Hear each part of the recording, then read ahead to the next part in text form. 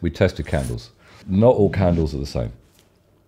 You can get really cheap, nasty petroleum candles with horrible thin wicks, and you light them, and you get this tiny, weedy little flame that just blows out instantly.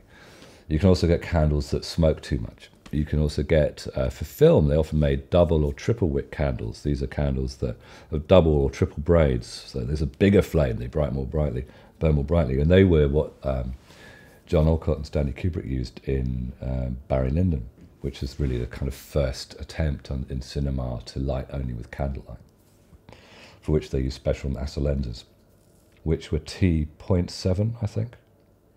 Yeah, insane fast lenses. And he had a special a camera specially adapted to actually hold these these lenses. I think they were only 50 mil, and they only used them for the night scenes. There was no depth of field. I mean, razor fine. So um, Doug Milsome had to actually invent a new system of focus pulling using CCTV camera. I think he was the first person to do it. Revolutionary. But it had it was very soft, very fluffy, very flary, and they used double, triple wick candles. So you got a like what looks like a bonfire on the table. I mean, some of it did look very beautiful and very painterly, but we weren't necessarily going for that look. We were going for something a bit more rugged.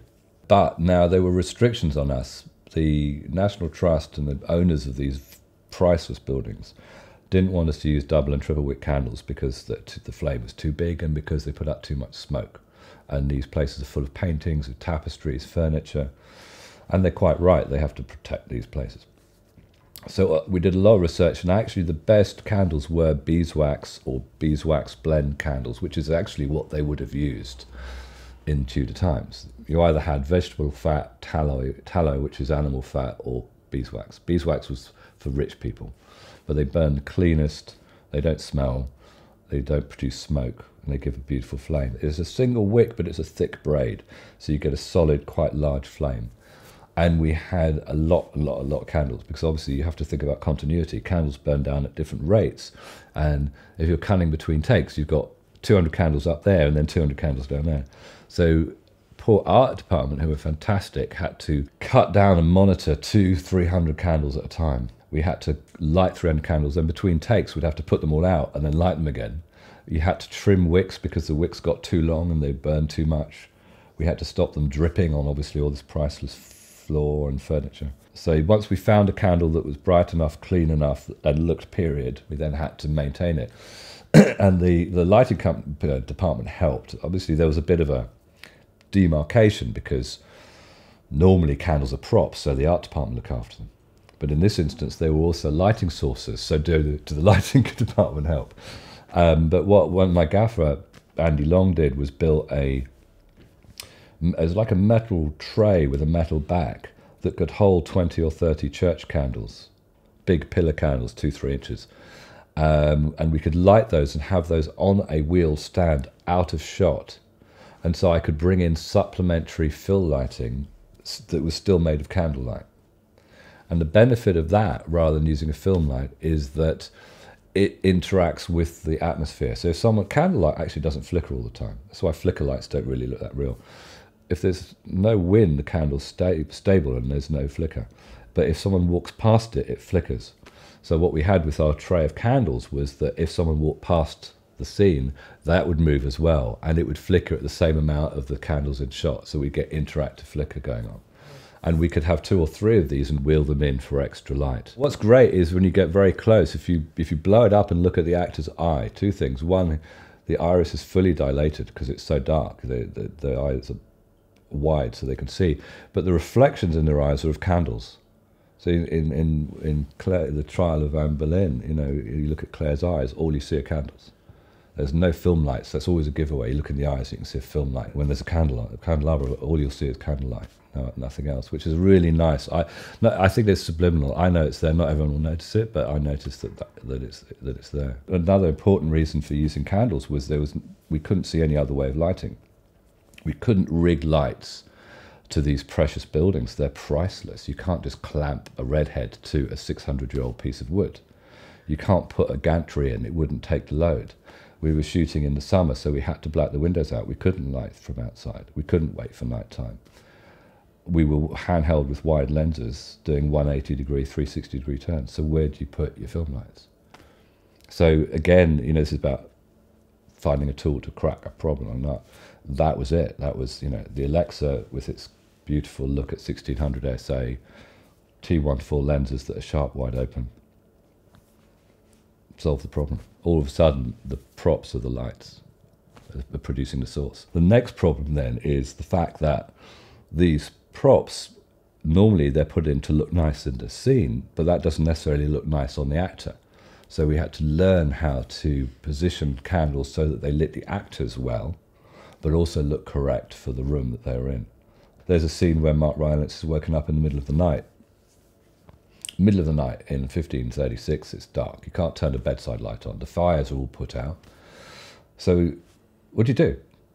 So we did what they did, which was they had little candles, that bedside candles that they would light with a flint, probably, and they would use them to light their way down the stairs. And I talked to Mark. Mark didn't want to have to hold a, like Wee Willie Winkie, he didn't want to hold a candle up to light his face because it would be naff, which is what they used to have to have done. I said, no, hold, the, hold it how you would normally. Hold the candle just so you can see where you're going. He's woken up in the middle of the night by Brereton, one of the courtiers to the king.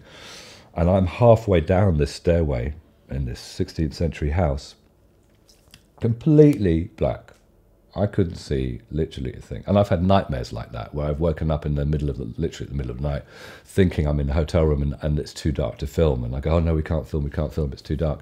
And here I was with a camera on my shoulder, couldn't see a thing. And I had to walk down these stairs. And Mark came around and he was holding, he couldn't see a thing, he was holding the camera so he could see where, candles, so he could see where he was going. Not holding up here, he was holding it down there. And I could see everything. It was fantastic. As he came around the corner, I could see him, I could see the candle. I followed him downstairs. He's met by his wife and one of his daughters. They're holding candles. They're lit. Go into the main hall, and you've got all the, the soldiers and the courtier and his other family, and they've all bought their candles. And that's it. That's what's lighting the scene. And it's beautiful. It looks like the paintings of the 16th century. I didn't want to use moonlight like daylight because it's not like that. It doesn't look like that. There's a scene where Joanne turns out all the candles one by one.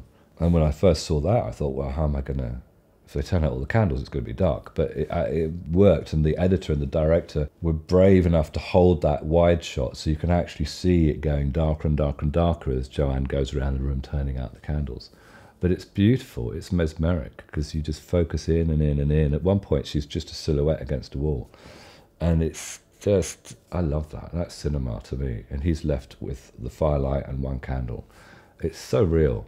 And I think the actors responded to that. You know, I remember very well when we lit Claire's uh, trial, the Anne Boleyn trial in episode six, just with candlelight in this big hall, just candles. And she came in and she gasped. She, oh, it's like a, it took her breath away because it was so real. There was no lighting, there was no paraphernalia, it was just ca- handheld camera. Room full of people in full costume. Uh, Mark Rylance Bernard Hill at the end, all lit by candlelight in a 600 year old building. And it was completely real, completely real. And it, I think that I think that informs everything. It informs what I do, and it informs what the actors do, how they perform to, to, to let that level of reality was, was great to do. You can't do it everything, it's not right for every film.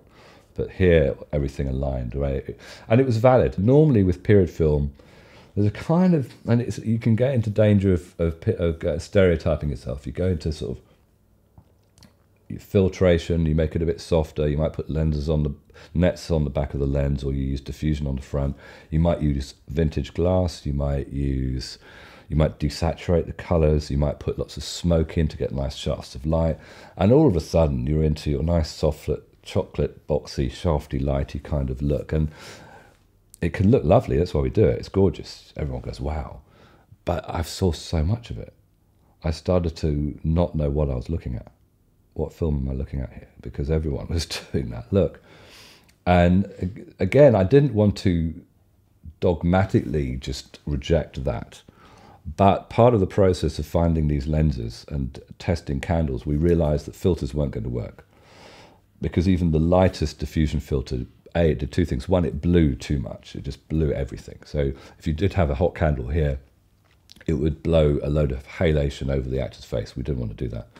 We also found with a lot of candles, you're going to get reflections with the filters.